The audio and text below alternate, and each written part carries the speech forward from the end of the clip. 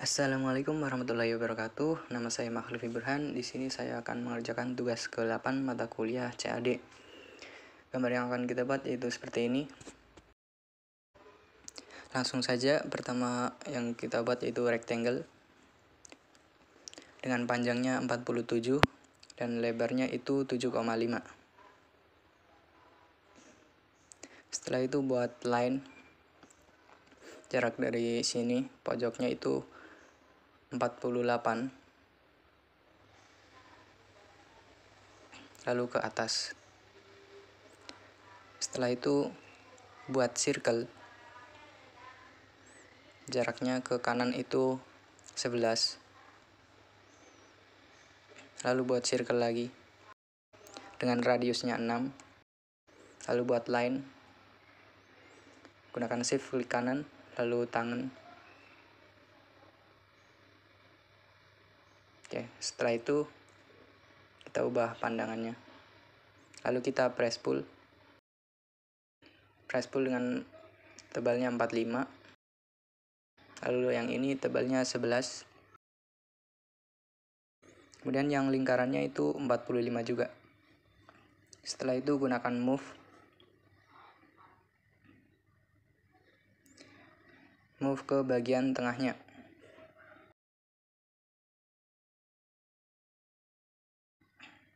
Setelah itu buat line dari pojok bawah jaraknya 7,5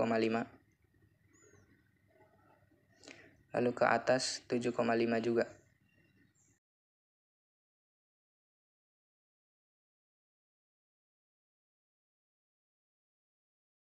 Setelah itu buat circle. Dengan radiusnya itu 3,75 lalu di mirror lingkarannya.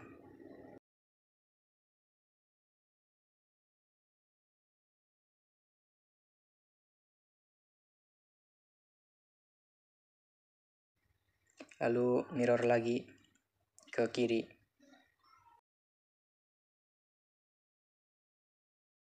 Setelah itu di press pull sampai bolong.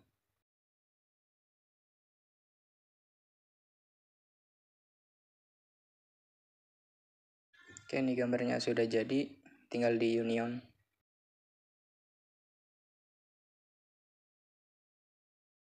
Setelah di union, kita ubah sumbunya. Lalu kita hapus untuk sketchnya.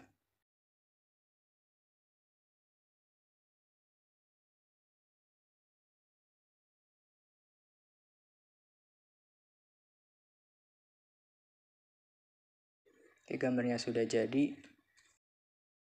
Setelah itu kita copy. Lalu kita pindahkan ke gambar yang sudah ada etiketnya. Paste di sini. Setelah itu kita masuk ke view, base, from model. Lalu pilih gambar tadi, lalu enter. Lalu enter lagi. Setelah seperti ini kita ubah orientation menjadi left enter.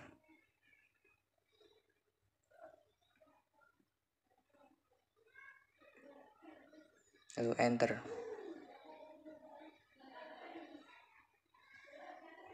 Lalu kita satu lagi tambahkan untuk gambar 3D nya masuk ke orientation. Pilih NE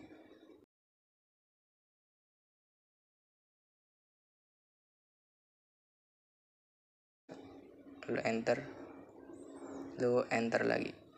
Setelah itu kita ubah dengan edit view untuk mengubah tampilannya. Jadi shaded. Enter. Setelah seperti ini kita tambahkan dimension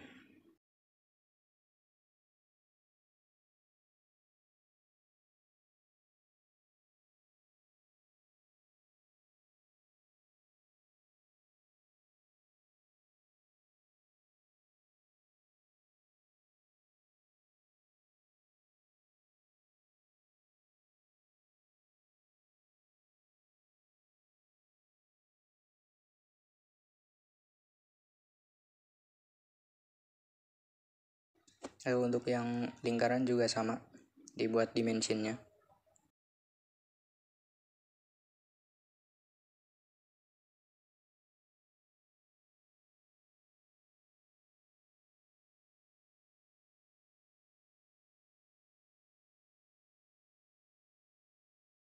Oke, gambarnya seperti ini sudah jadi.